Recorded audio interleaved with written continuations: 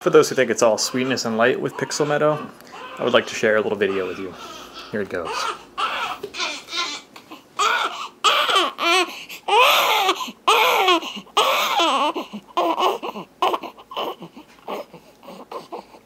Oh, so mad.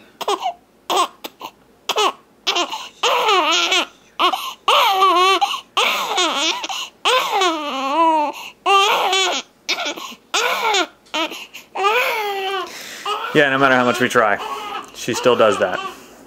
A lot. Oh well.